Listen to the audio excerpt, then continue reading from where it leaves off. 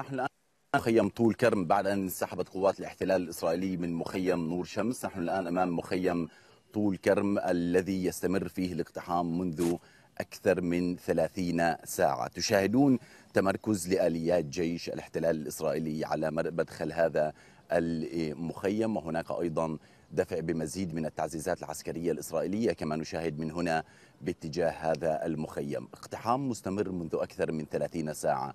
أسفر حتى هذه اللحظة عن استشهاد ستة مواطنين فلسطينيين في المخيمين في مخيم طول كرم حيث نتواجد الآن وفي مخيم نور شمس الذي يبعد من هنا واحد كيلو متر تقريبا.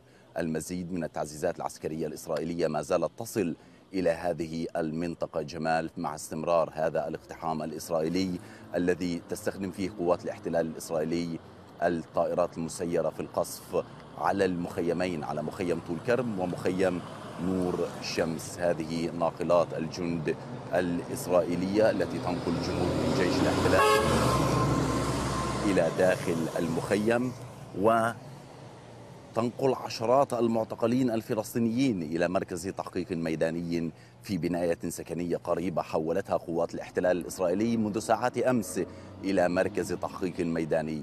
العشرات تم احتجازهم في بناية سكنية والتحقيق معهم وبعد ذلك يفرج عن عدد كبير منهم ويطلب منهم جيش الاحتلال الإسرائيلي عدم العودة إلى مخيم طول كرم. الأوضاع داخل المخيم كما يقول الأهالي في الداخل الذين تواصلنا معهم يقولون إن مخيمهم منكوب جراء عمليات التدمير الواسعة التي نفذتها قوات الاحتلال الإسرائيلي في هذا المخيم. نشاهد هنا جمال الجرافة العسكرية الإسرائيلية التي تتمركز هنا في هذا المخيم مخيم طول كرم وهي التي دمرت البنية التحتية ومثلها خمس جرافات أخرى تدمر في أماكن أخرى. البنية التحتية دمرت بشكل كامل في هذا المخيم مع استمرار تمركز قوات الاحتلال الإسرائيلي داخل المنازل في المخيم. هذه الجرافة العسكرية الإسرائيلية التي دمرت البنية التحتية قطعت خطوط المياه والكهرباء اقتلعت الأشجار أيضا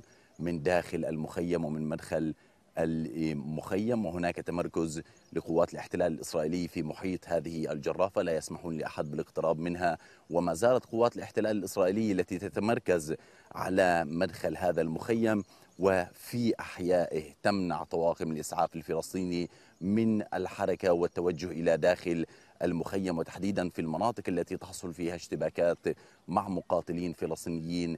ما زالوا حتى هذه اللحظة يفجرون عبوات ناسفة بالآليات العسكرية الإسرائيلية المقتحمة لمخيمهم. آخر انفجار كان قبل تقريبا عشرة دقائق داخل المخيم مع استمرار الاشتباكات المسلحة في أكثر من منطقة. قوات الاحتلال عمليا نفذت أطول اقتحام لمخيم طول كرم على غرار ما كان يجري في السابق في مخيم جنين ومخيم نور شمس القريب إلا أنها أيضا اقتحمت منذ ساعات المساء أمس مخيم نور شمس ودمرت المزيد من البنية التحتية المدمرة أصلا في المخيمين.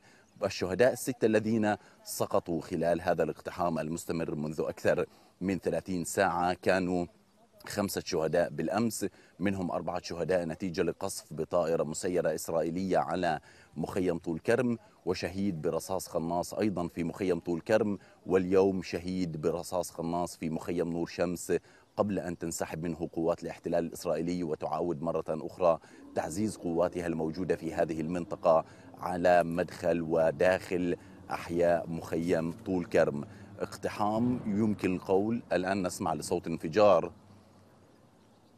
نسمع صوت الانفجار من الجهة المقابلة للمخيم.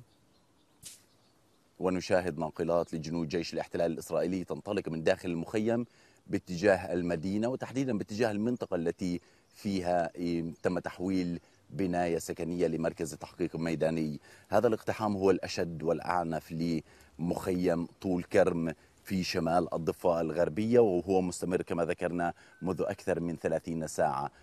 قد يكون هناك داخل المخيم كما يقول الأهالي بدون مبالغة أن معظم المنازل اقتحمها جيش الاحتلال الإسرائيلي داخل المخيم ومعظم الأهالي تم التحقيق معهم ميدانيا في هذا المخيم وأطلق سراح معظمهم بعد عمليات تحقيق واسعة معهم هذا ما يجري في مخيم طول كرم هو تكرار للسيناريو الذي حصل في مخيم جنين في السابق من نعم. اعتقال مئات المواطنين الفلسطينيين احتجازهم في أماكن تحقيق ميدانية يحولها جيش الاحتلال الإسرائيلي وبعد ذلك الإفراج عنهم مع تدمير البنية التحتية وتحويل المخيم إلى مكان غير صالح للعيش